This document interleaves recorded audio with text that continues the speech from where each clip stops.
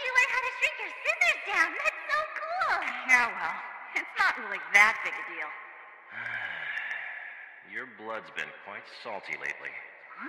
It explains your cocky attitude. You can tell stuff like that from how my blood tastes? Yes, I can spot any change in your physiology.